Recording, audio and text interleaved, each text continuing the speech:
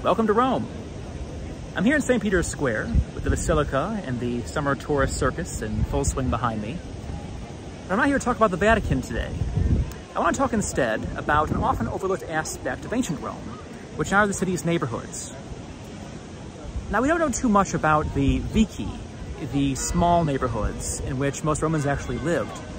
But we do know a fair bit about the borders, at least, of the regiones, the larger wards in which Rome was organized. There were 14 of these, and they were defined by Augustus, existed for seven centuries, and in many ways were the framework of life in ancient Rome. So let's go today um, on a grand tour of these 14 regions, see what survives, and try and get a sense of how ancient Rome actually looked 2,000 years ago. I'm now crossing the Tiber, as you see, and receding gently behind me there is Trastevere, Trans-Tiberim to the Romans. This was the 14th of the Augustan regions, an area known in the ancient world for its large immigrant communities. They found, for example, a temple of the Syrian gods there, and several synagogues. It was, from ancient Romans, a first port of call in the ancient city, and uh, so it seemed appropriate for our little tour here to begin there. Welcome to the Piazza Farnese.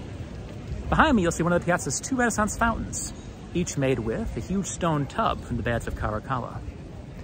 In antiquity, this is part of Region 9, Circus Flaminius.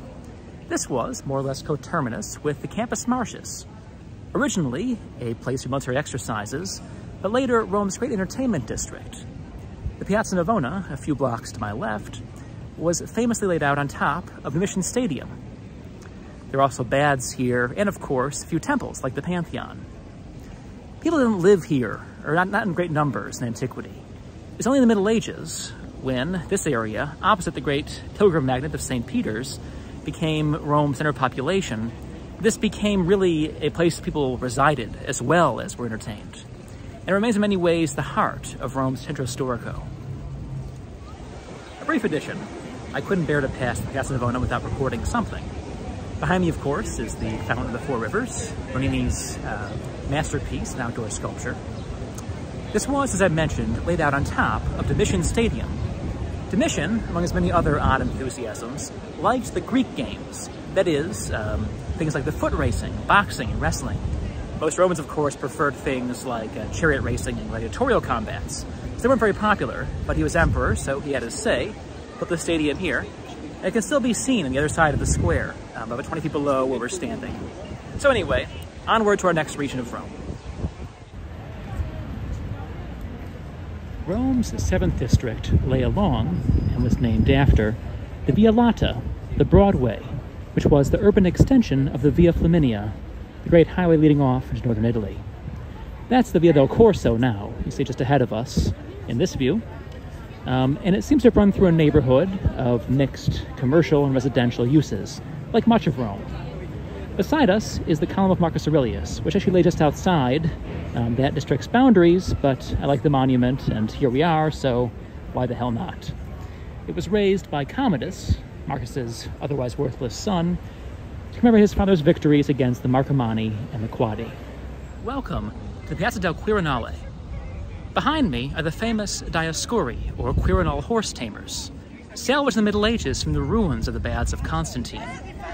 These statues are almost all that remains of what was, in the Roman era, one of the city's most affluent districts, the Alta Semita region, named for Alta Semita, the street that ran along the crest of the Quirinal Hill. That street was lined by mansions and gardens. The famous Gardens of Sallust were near here, but unfortunately, thanks to heavy overbuilding, little beyond those statues and their memories survives. The fifth district of ancient Rome was Esquiliae, named, as you've probably guessed, from the Esquiline Hill on which we're now standing. It was, for the most part, a residential district with few monuments. But there was one very great exception, which is just behind me now. And that is the Baths of Diocletian. Now, the central block of the baths, the Frigidarium, was converted into a church during the Renaissance. There's a wedding going on in there right now, as I found a few minutes ago. I'll take a very quick look at the atrium, which once connected the Frigidarium with the rest of the baths, give you a sense of the grandeur inside. So just one moment. I'll keep quiet once we're in.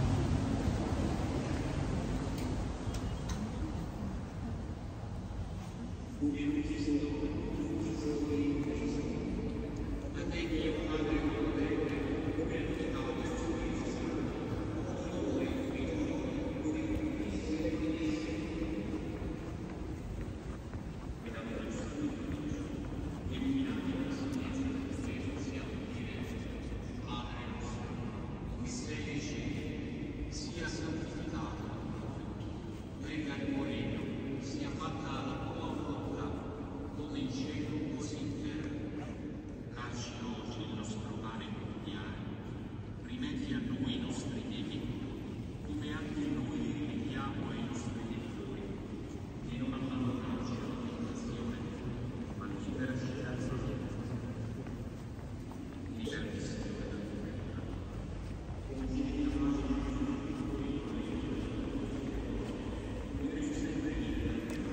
right, well, pardon the long silence, but that was a quick look, wasn't it? All right, we'll move on from here, continuing towards the heart of the city and on to our next district. This is the Oppian Hill. The ruins behind me belonged to the Baths of Trajan, a complex once almost as large as the Baths of Diocletian. Unfortunately, thanks to Renaissance stone robbing and other pitfalls, not much remains of these baths besides these uh, brick fragments beside me. But they are still pretty impressive and a nice little accent to this park here.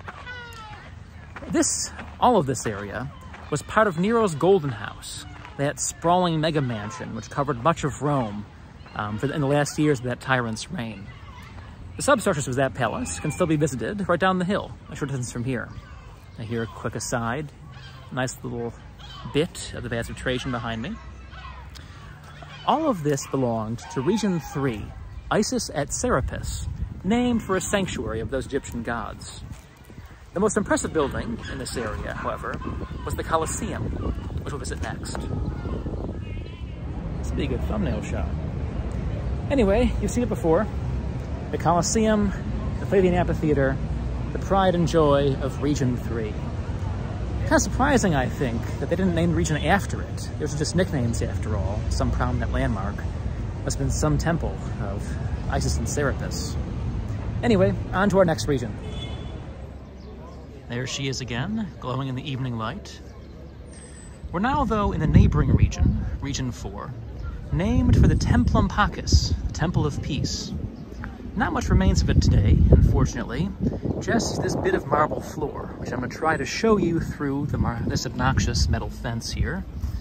Uh, let's see, a bit of blurriness. Eh, not half bad. The Temple Templum Pacis was built by Vespasian with spoils of the Jewish War. It was part of the Imperial Fora complex that complemented and adjoined the Forum. It's a bit loud here, so we'll move on to our next region in a bit of a quieter place. This is the Clivo di Scauro, the ancient Clivus Scaurus. Almost uniquely among Roman streets, it follows its ancient course at its ancient level. If you look to my right here, you see the walls of a second century insula still preserved at street level, with just the arches bricked in. Above them is the church of Santi Giovanni e Paolo. In antiquity, this was Region 2, Caelimontium, as this is the Caelian Hill. It was, in late antiquity especially, one of Rome's most affluent regions, with mansions on both sides of this street and around. In fact, one of Rome's great Dark Age popes, Gregory I, grew up in one of the last senatorial mansions just downslope, and that mansion has become the church of Gregorio Magno, which can still be visited.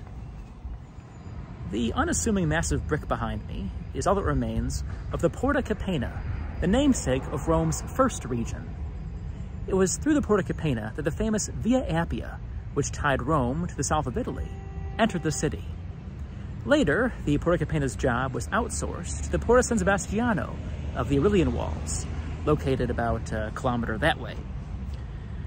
But this district, um, as it was outside the city initially, housed not only the usual homes and businesses, but also tombs, including the famous Tomb of the Scipios, uh, again down this street, but unfortunately closed. For more on this corner of Rome and our next district, bear with me. Rome's 12th region, Piscina Publica, was named for a public swimming pool that has never been located. But it also housed the famous Baths of Caracalla, which you can see behind me, Rome's best preserved thermae. I have a video on Told Stone about these, which I'll happily refer you to. I'll move quickly on to our next region before the sun sets. Two regions for the price of one, Circus Maximus and Palatium. The Circus Maximus is pretty self-evident. As you can see, I'm walking on the spina, the central barrier around which the track wound. There's not much left of the actual circus. The seats and the superstructures are long robbed away or buried. But the sheer scale of the space is obvious. Imagine a quarter million people cheering and the great clouds of dust whipped up as the chariots rounded around the track. Must have been quite a spectacle. And the emperors themselves enjoyed it from their seat on the Palatium. There it is, the Palatine Hill. It's very impressive now, but this is just a shell of what it once was. All you really see, for the most part, are substructures upon which the actual palaces rose. So picture another two or three stories of marble and stucco upon those gaunt brick piers. It must have been truly imposing, and wonderful evidence for how well the emperors combined power and display. Region 13 was Aventinus, the Aventine Hill. For many centuries, the hill's life was tied to the river, which you can see just behind me. Many of its inhabitants worked in the docks and warehouses that lined the riverbank, and this was, for many centuries, a working-class district.